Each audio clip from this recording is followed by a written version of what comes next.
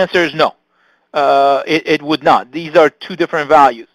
Uh, so, so that is uh, that is why uh, you uh, they they specify you must understand which method they are using: 0.2% offset or 0.5% extension method. In reality, the 0.2% this method uh, I have used quite a bit. the 0.5% extension um, I have not used very much at all in, in, in, in actual work.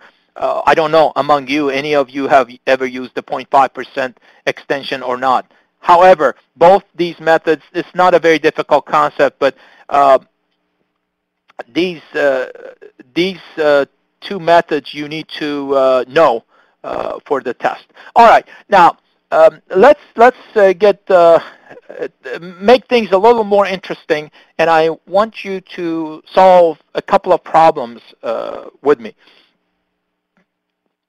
This slide, the next probably 10 or 12 slides uh, will help us answer this question and solve this problem.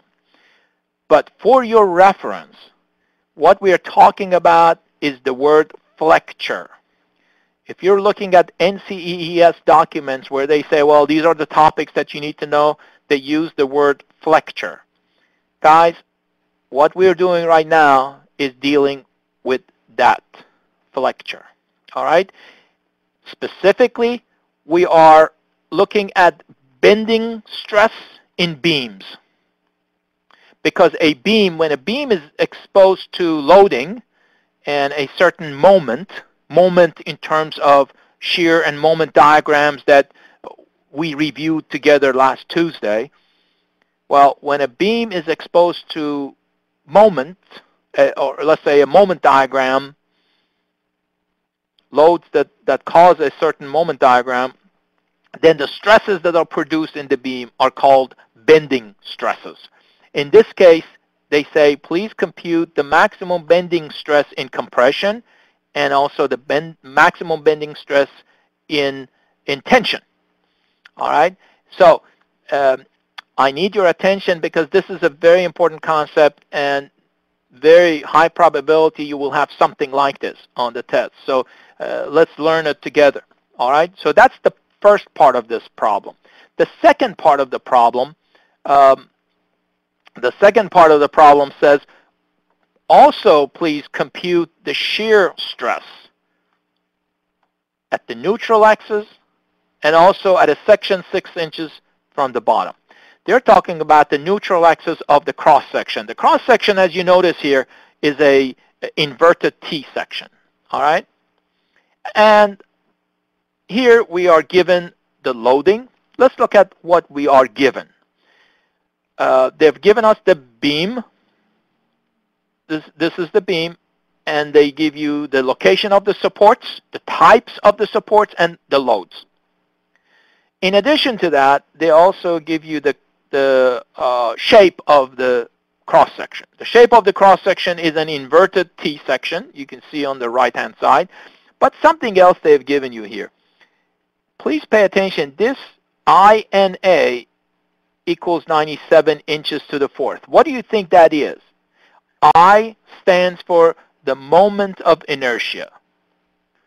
Moment of inertia of the cross-section, in this case, about the neutral axis. All right?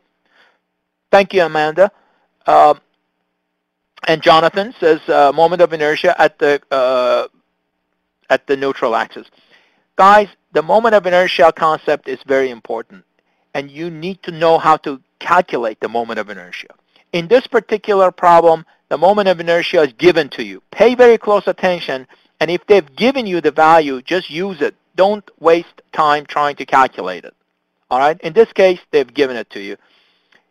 In a, uh, in a later problem today, I will show you exactly how you would go about calculating the moment of inertia. But here, uh, they've given this to you. All right, let's start with, uh, with the first part of this uh, this problem and the part that I have um, underlined in red, finding the bending stress in compression and the bending stress in tension. All right, on slide 15, what I have shown is the shear diagram. I'm not going to go over how we constructed the shear diagram. I showed you the process last week. So what I need for you to do, please do this for me. Uh, not right now, but later when you study this, uh, these problems, don't just take my shear diagram, cover it, and do it on your own. Make sure that you know how to draw the shear diagram. Now, next slide shows the moment diagram. See down here, down here, this is the moment diagram. All right? And eh, once again, we will be using this moment diagram. Please accept it as the correct moment diagram, but I want you to do it on your own to make sure that you, based on what I showed you the other day, you can actually draw this on your own.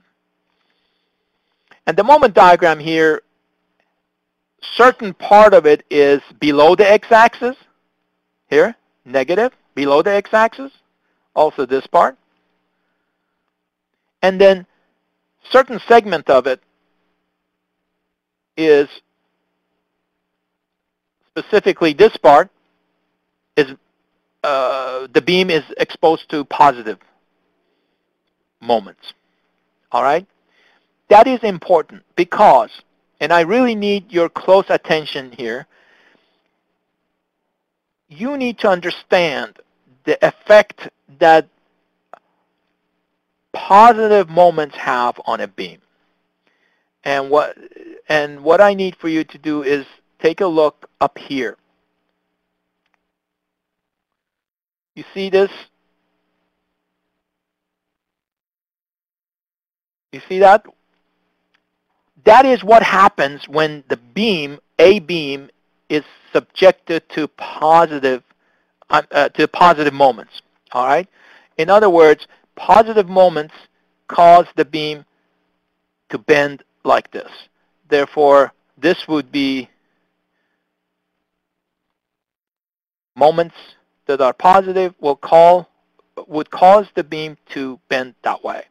And you can remember by saying positive moments are happy moments. Let me see if I can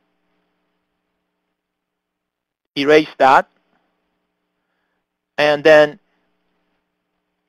another way of looking at it is this. When we have a pos positive moments cause tension in the bottom, take a look here. This is positive moment here.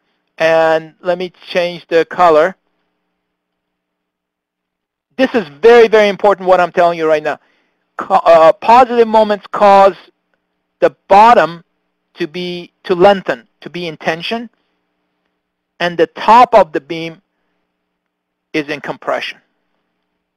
Now, the reverse of that happens when the beam is subjected to negative moments like this.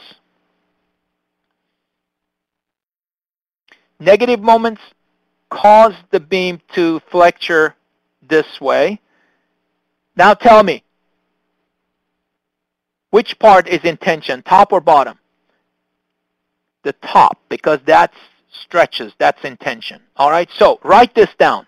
Negative moments cause tension on top, compression in the bottom. Positive moments cause tension in the bottom and compression on the top. Remember this because I'm going to come back to it. To keep things in perspective, I want you to understand what it is that we are doing. We are we are calculating what we call the bending stress in beams. The equation is this, this one. This is the equation. Sometimes it's referred to as the flexure equation.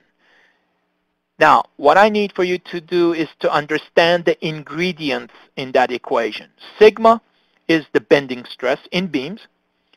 It's equal to mc over i. Let's start from the denominator. I is the moment of inertia. So the denominator is the moment of inertia of the cross-section about its own centroidal axis. The numerator, m, is the moment. And we get that value from the moment diagram. If it is the bending stress at a specific point along the beam, you use the exact value at that specific point along the beam. Otherwise, if it's the maximum stress that you're calculating, it would be either the maximum positive moment or the maximum negative moment. The one thing I have not defined in this in this equation is C. So let's see if we can identify what this uh, C value is. And this C value, guys, is the distance between the neutral axis to either the top or bottom. All right? And some of you are giving me the, the answer to this question. Uh, Joseph, Donald, Jonathan, uh, Gary, they're telling me that C value is the distance between the centroid and either to the uh, distance to the centroid from uh, from the, the the the neutral axis to the top or bottom. All right. So the question becomes, can you make up your mind? Is it the distance to the top or bottom? All right, guys. Here's what we're going to do. I'm looking at uh, slide number 16. The C value is the distance from the neutral axis to the top or the neutral axis distance to the bottom. Now, which you use is based on whether you are measuring uh, the, the, ten, the stress in tension or compression. All right? So let's assume that we are, now I want everybody to do this along, along with me. Let's assume that we are trying to find the maximum bending stress in the region where the beam is subjected to um, negative moments. So in negative moments, the bottom is in tension or compression. Negative moments, the bottom will be in compression. So I think you can see this here. That we call C sub C. All right? So where the beam is subjected to negative moments, compression occurs in the bottom. So the distance between the neutral axis and the bottom, we call it C sub C. The subscript C stands for compression.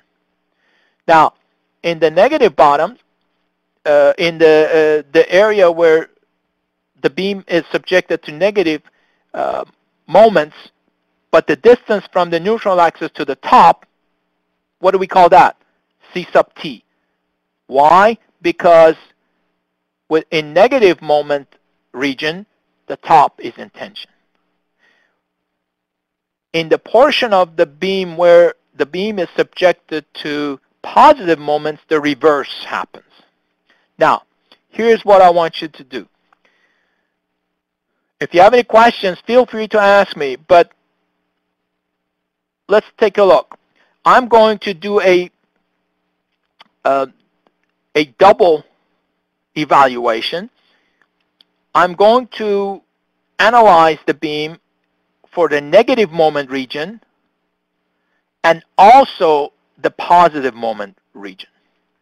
I want you to uh, go ahead and, and make sure you understand where these numbers come from in the negative moment region, let me switch back. In the negative moment region, C sub t is this distance, neutral axis to the top. So what's the value of it? Who can uh, do the subtraction? It's 9 minus 3.5. What do we get? Helen, help me out. Uh, yeah, Matthew says 5.5. Helen, I hope that you agree with that. So C sub t in the negative moment region is the distance between the neutral axis and going to the top, which is indeed 5.5.